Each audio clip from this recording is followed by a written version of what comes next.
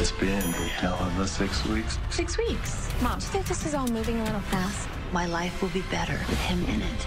I'm in love.